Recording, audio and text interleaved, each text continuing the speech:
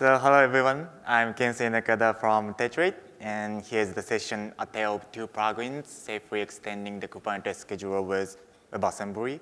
So today we're gonna discuss about uh, how we make the WASM extension on Kubernetes scheduler and you know, how it started, how it's designed, and the challenges we faced or we are facing.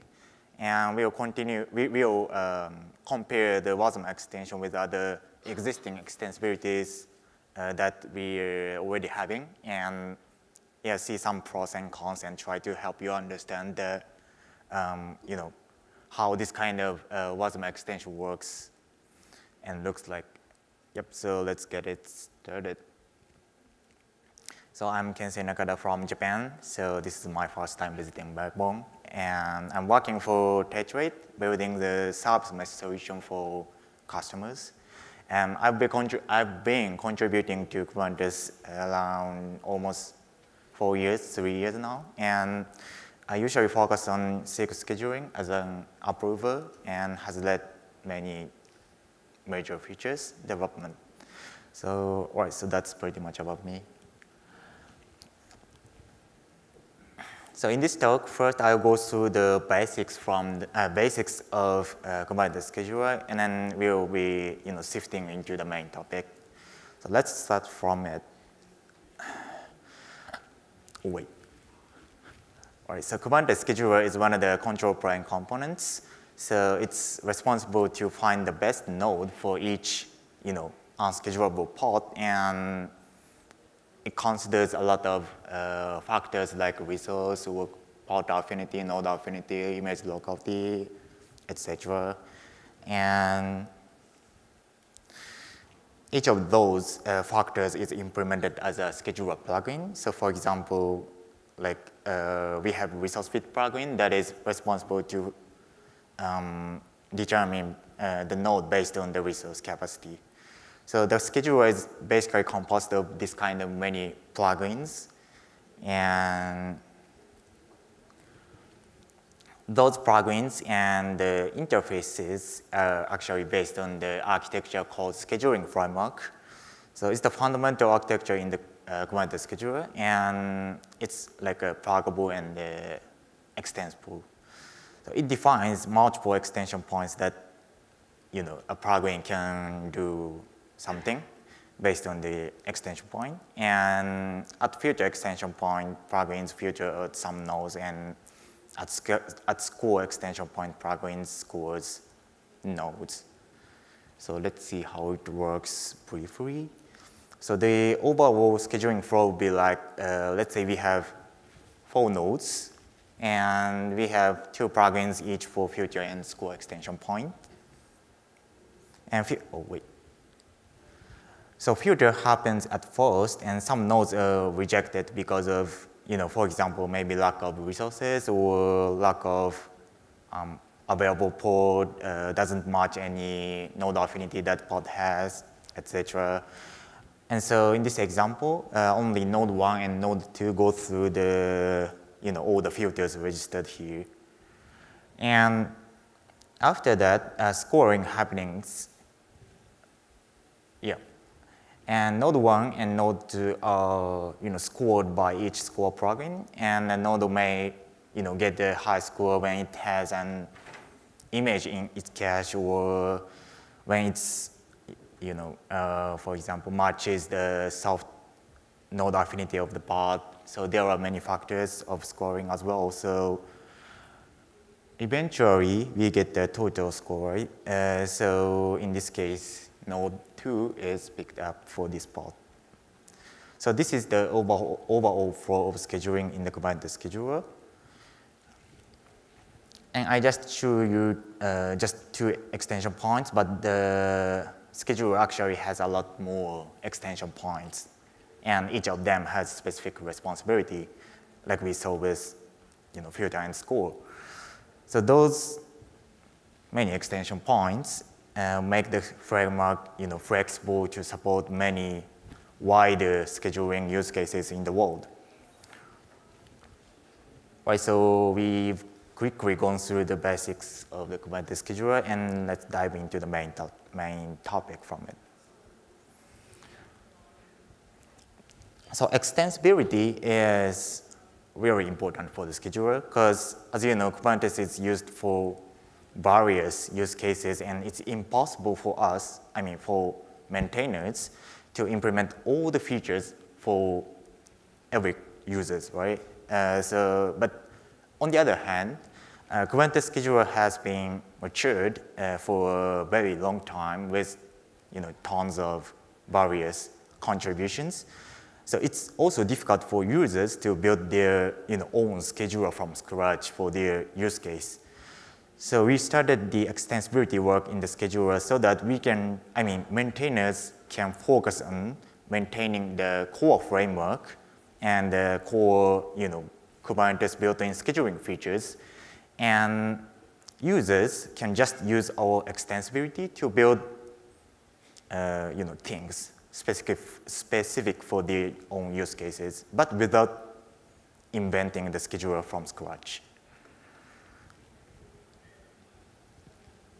All right, so currently we have two extensibilities in the scheduler, and one is Webhook. It's also called Ex Extender, and another one is Golang plugin. So let's see each of them. The first one is Webhook. Uh, this feature is called Extender, and it's our like first attempt uh, to provide the extensibility from the scheduler. So when we started this, we didn't even have the Kubernetes, no, uh, the scheduling framework. Uh, so there are four points that users can you know, inject their own logic via webhooks. And each, at each point, the registered webhook is called and users can you know, control the scheduling decision based on their response from the webhooks.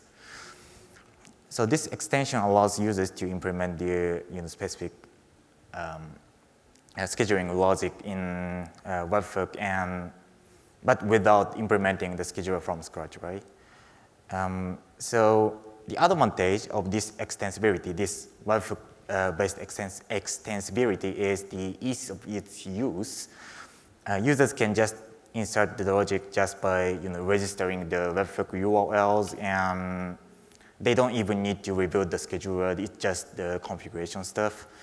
And they, can you know, select the like any programming languages that they prefer to implement the webhooks. So this is flexible for users, but it has uh, certain downsides as well. So uh, the overhead and the lack of functionalities. So especially the latter is critical because, uh, as I said, it has four points. It has only four points and that users can register webhooks, so it's not enough. As we see, the framework has a lot of a lot more of extension points, but it only has four. But we can't just increase the number of webhook points because of the overhead. Because frequent API call between the scheduler and the webhooks uh, would slow down the scheduler too much. So we started the scheduling framework that described already. Um, so actually, the scheduling framework is motivated from the uh, webhook extensibility.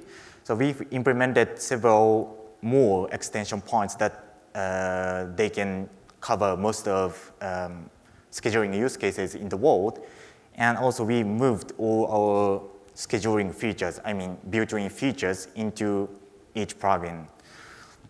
So the framework allows users outside, of, uh, outside the upstream to integrate their own you know, scheduling logic, uh, scheduling plugins in order to satisfy their use cases without concerning the complex scheduling core implementation.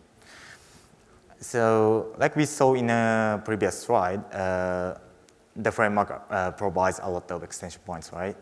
And on the contrary, um, many functions are exposed from the scheduler to plugins so that they can optionally uh, do something more, uh, like directly asking something in, uh, to, the, to the scheduler side. So as a result, uh, the scheduling framework nowadays, scheduling framework or Golang plugins nowadays satisfy wider use cases in the world. And each function call is, you know, just a Golang function call. It's not that, you know, there's no such overhead, right? Um, but it has, it also has a downside of troublesomeness. Uh, it doesn't support the dynamic loading of the plugins. So you, when you want to use it, uh, you have to, you know, fork the scheduler, integrate your plugin into the scheduler, then you have to rebuild it and replace the existing scheduler with, a, your, with your new one. So that's kind of troublesome to build up. All right, so to make more uh, user-friendly extensibility, we started some, um, we started to you know, explore the WASM extension here.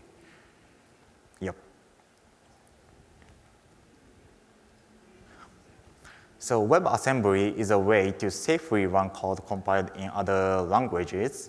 So WASM runtime executes WASM guest, and WASM guests imports the functions from host. So they cannot do other, other stuff. So some of you may think, you know, WebAssembly is a broader stuff, or in the cloud native stack, then there's, uh, you know, round WASI stuff currently. But another use case of WASM here is using it to provide um, extensibility. Uh, so for example, Envoy already has a capability of WASM extension. And the idea is that the user implement their core logic, core yeah, scheduling logic uh, and compile it in WASM binary, right? And the core component, here the scheduler, embed the WASM runtime and load this WASM guest that user created and runs it.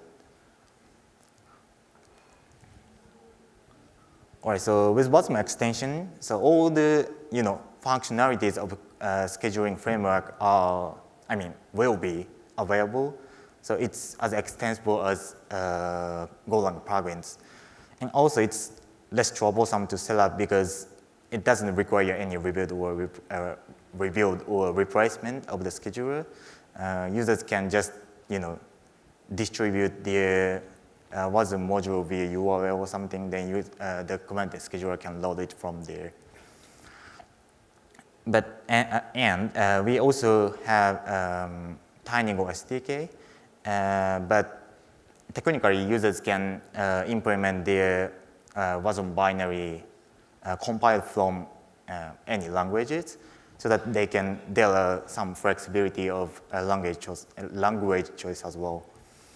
But the downside here is that uh, you, if you compare WASM and Golang plugin, I mean scheduling framework extensibility, WASM module still have an overhead, of course. Also, the overhead is much smaller than the Webhook. Um, also, WASM has uh, some sandbox peculiar limitations, and maybe some of you may not familiar with it.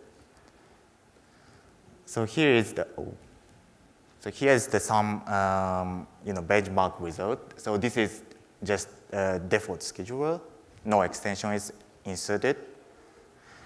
And this is uh, so WASM extension, uh, the scheduler with a WASM ex extension. So you can see a small overhead in the uh, from this one. And whoop, right. So this is Webhook based one. So you see um, it's obviously slower than this one and this one, right?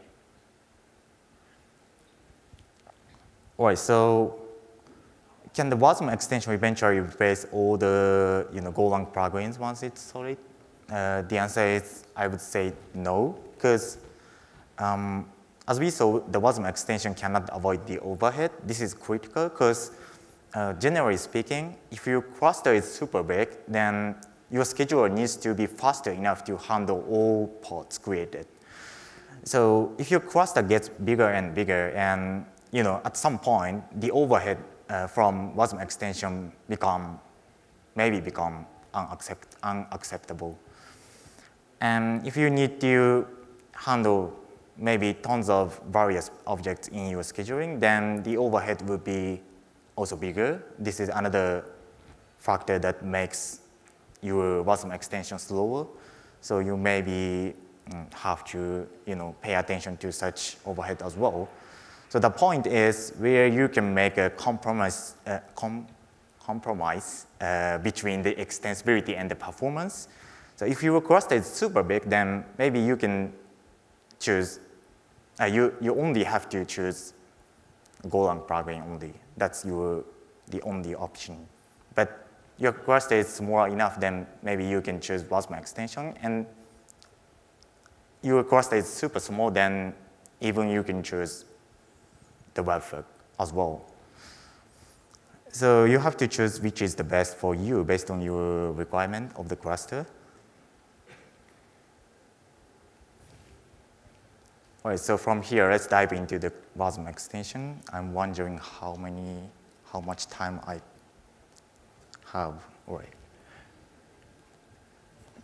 So Kubernetes scheduler is implemented in Golang, and we are using the awesome wazero to embed the WASM runtime here. Um, so we actually implemented this uh, WASM extension as Golang plugin, and this Golang plugin loads the WASM module that users created and run them on wazero that I mentioned. So the configuration looks like this. As I said, uh, users can uh, load the WASM binary from maybe from files or from a remote host. Uh, so it's easy to distribute. And when WASM Golang plugin receives the function calls from scheduling framework, it forwards, basically just forwards the function calls to WASM module. So WASM module basically, you know, expose the expose the similar function call like filter and score, and as you can guess, each of them is just corresponding to the same extension point in the framework. So the interface between the scheduling, uh, between the scheduler side and the WASM module side is called ABI. It's application binary interface and users have to implement their own you know, WASM modules based on the ABIs that we define. Also, sometimes uh, the WASM module has to get more data from the scheduler side. So uh, in such case, the WASM uh, module can call some functions exposed from the host, exposed from the scheduler in this case. And those host functions uh, you know, those host function makes uh, the WASM module available to do some more extra work. And as I said, uh, as I mentioned, uh, we have TinyGo SDK. So I said the guest has to implement the ABIs, but it's going to be a tough work, right? Because, uh, you know, uh, I just said ABIs, but there are tons of functions that has to be implemented. So we provide a SDK to make it easier for people to create WASM modules. And the SDK allows users to develop WASM modules with a very similar experience with Golang plugins. So in Golang plugins, uh, we have actually uh, the scheduling framework. Uh, we have this kind of interface, and it's the same, uh, it's not same, but very similar in uh, WASM extension too. So you just need to implement the interfaces and the ABI will be just implemented uh, background. So the question here is why we selected TinyGo, not Go, because uh, uh, Golang was target uh, did not uh, support, support the some exported functions when we started this project. Uh, but actually, the spot is coming. It's already, I mean, merged. So we are planning, actually planning to explore Golang SDK with them as well in the future. So when you craft the extension with WASM, uh, one big thing surprising you is that WASM only support numeric types. So we cannot define the function like that. So directory pass pod from uh, scheduler to WASM guest. Uh, this kind of function cannot be you know, defined. Uh, so, uh, and also because of the uh, sandbox, sandbox limitation, the guest cannot access the host's um, memory directory, uh, which means you cannot pass the object by reference to. Uh, so how can we transfer this kind of object between the host and the plugins?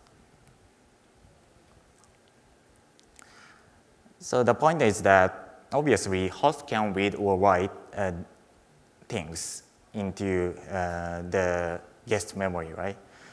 So we basically just, so the guest asks the scheduler to put pod into this address, and the scheduler put it, and it returns the length of the pod and the WASM module with it. So this kind of uh, design uh, you can find everywhere in our APIs. And yeah, this is a very common pattern uh, for how the object transfer works. And, and the next point uh, to discuss is lazy loading and caching. Uh, as we discussed at first, the performance is one of the you know, important points when crafting this kind of extension in the scheduler. But the object transfer is costly, so we need some you know, tricks for a better performance. Uh, but you know, depending on the scheduler logic, uh, the WASM module may or may not uh, need to get some objects, right?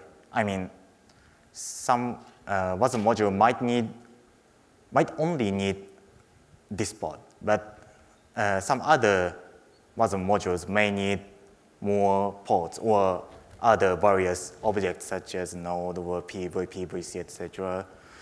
So the SDK doesn't know which modules uh, need which objects until running them.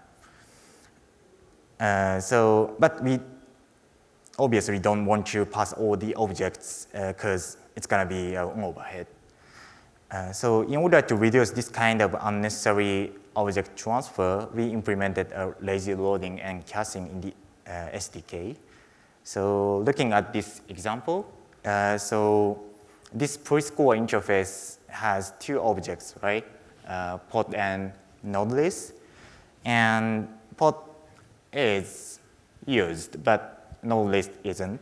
So in this case, uh, when the yellow line, pod spec is called, uh, it actually not just reference the pod spec, but it's actually fetching the pod from the host. So what is happening here is uh, when scheduling framework calls PreScore function of um, WASM extension plugin, uh, the plugin calls the PreScore function exposed from the exposed from WASM module, right?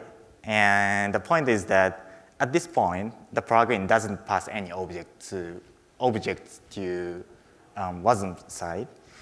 And it just asks the WASM to start executing a PreScore. And in PreScore, uh, WASM module okay, needs uh, the pod object. Uh, then if the pod isn't in the cache yet, uh, the WASM module fetches it from the host side. And, you know, when it returned, uh, it puts this part into a cache so that it doesn't have to fetch it again. So this is how we implemented the you know, simple lazy loading and how actually the WASM module calculates the uh, scheduling results. And another topic here is garbage collection. So garbage collection is another overhead that we have to consider because uh, WASM has only one uh, WASM has only one thread and uh, the garbage collection is inlined. As a result, the WASM, no, uh, garbage collection overhead was like over half the latency of the plugin execution. So towards this problem, uh, the first thing we tried is nottinygc. The name is great. And so this is awesome, uh, makes some huge latency reduction in some scenarios.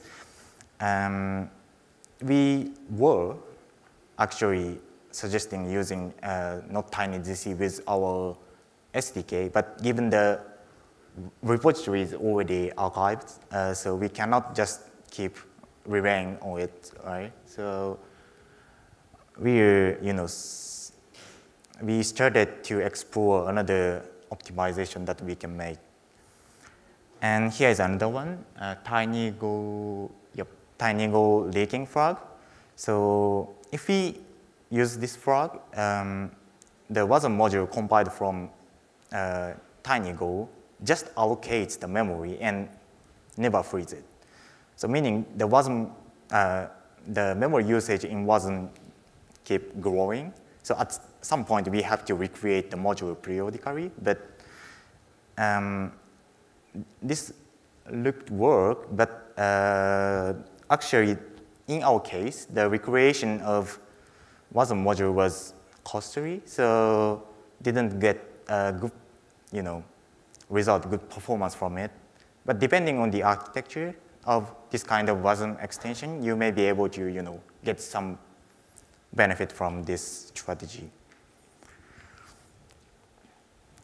All right, so these are what we tried towards um, garbage collection problem, but obviously uh, this, uh, these solutions are just, you know, just for TinyGo, right? So of course, like we if we implement SDK with non-GC language, then problem will vanish. Or like, yeah, so currently we are using Go because Go language is main language in Kubernetes community, but uh, it'll be awesome to, you know, try out this kind of SDK with non-GC language and see some performance comparison from it. All right, so we also have benchmark, but the time is coming, so I describe it very shortly. so we have two layers of benchmarks. Uh, one is uh, plugin level one, and another one is scheduler level one.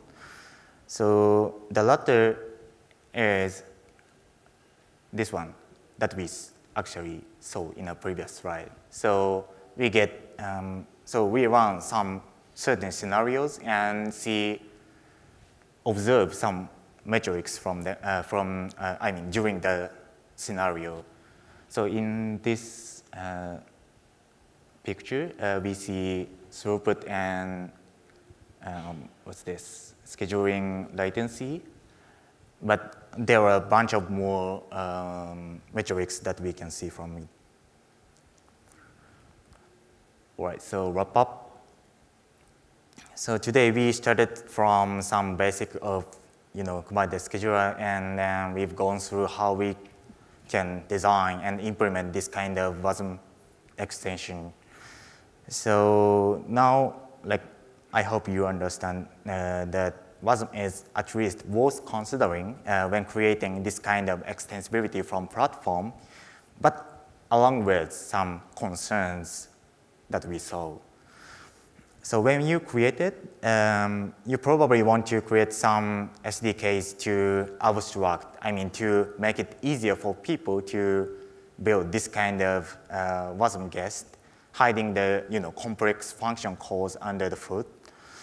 And the object transfer requires some effort to reduce the overhead. You probably want to follow the similar, like cache and lazy loading. And lastly, you should have a benchmark uh, to you know, keep your performance always measure it and not introduce some degradations.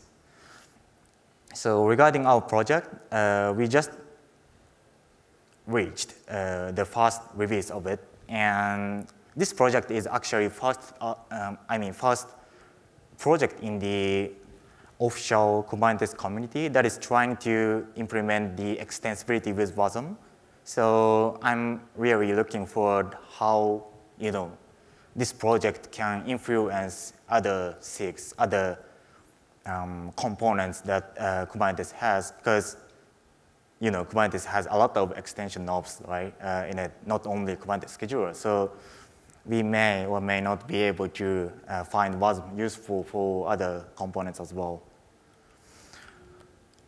All right, thank you very much. So this is the end of my session. Uh, have a great day, everyone.